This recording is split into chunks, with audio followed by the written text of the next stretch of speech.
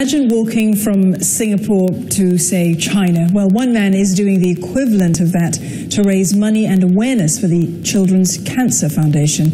Prasad Arumugam will hike the Pacific Crest Trail, which stretches from Canada through the US and down to Mexico. It's a distance of nearly 4,300 kilometers. And we're not just talking about a horizontal challenge, but a vertical one as well. The total ele elevation that he's going to cover will be equivalent to climbing Mount Everest, get this, 16 times. That's right. Now, that's right. Prasad, he's, he joins us here in the studio. Prasad, good to see you here. Thank you for having me. All right, so you're embarking on this great trek uh, in July. Why are you dropping everything, your work as a tutor, uh, you know, and going halfway across the world to do this? For me, I think uh, my motivation is the cause that I'm trekking for, which is the cause against cancer. And that has been something that's been very close to my heart ever since my aunt passed from cancer.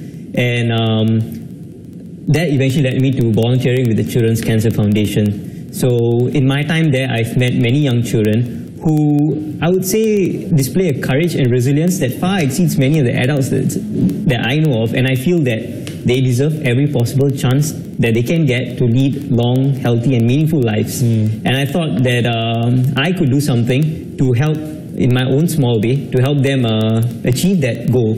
And uh, I, thus I decided that, you know, if it's it's not now, it's not going to be ever. So I decided to embark on it now. Mm. Why the Pacific Crest Trail though? I mean, uh, there are a number of trails worldwide.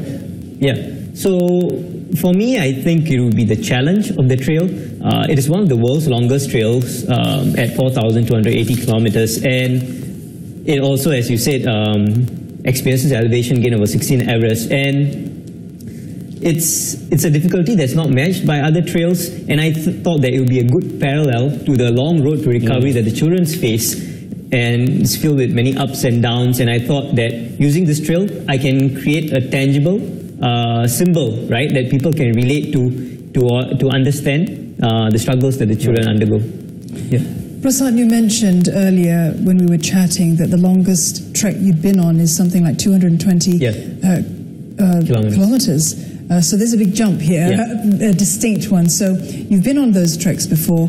What challenges do you anticipate sort of coming up against with, you know, with something so different? So the first challenge would definitely be the immense distance because uh, 4,000 kilometers or so, it's a lot of stress added up, right, over time. And uh, that, that will be a huge factor if, uh, you know, I'm unlucky. But I've been training to help me um, overcome these challenges. But the one thing that I can't really prepare for is um, unpredictable weather because right now the trail is experiencing the El Nino phenomenon and that might mean that snow can drop in at any part of the trail at any time and it can be to an extent in which it's hard to cross certain parts. So while I have taken precautions like having ice axes and uh, crampons, there's only so much that you can prepare. The rest, I think you have to adapt on the go. Mm. Yeah. Prasad, of course, the, the ultimate goal in this is to, firstly, I mean, raise awareness as well as raise funds yeah. uh, for these cancer-stricken kids, isn't it? Um, how would people uh, donate to the cause if they wanted to? So um, I have a campaign page that's at trekinvicta.com and the details about